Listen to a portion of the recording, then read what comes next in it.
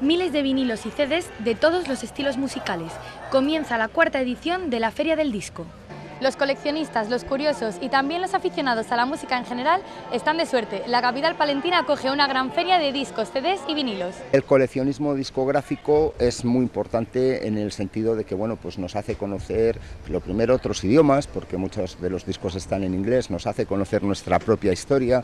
Claro, hablamos de discos que algunos tienen más de 50 años, nos hace conocer un poco pues, todos los momentos históricos que hemos vivido en estos últimos como decimos, 50-60 años, porque al final la música ha formado parte de, de, nuestra historia. Durante cuatro días, el Parque del Salón estará repleto de varios expositores de toda España, en los que se podrán ver más de 50.000 referencias en todos los estilos y formatos. Sobre todo 70s, es lo que más se vende, el heavy, el punk, es que se vende de todo un poco, clásica, es que se vende de todo un poco, españoles.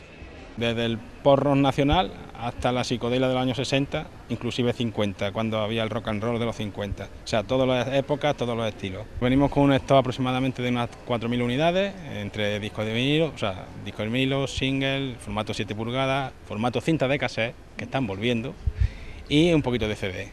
Una galería musical para todos los públicos y sin duda para todos los gustos.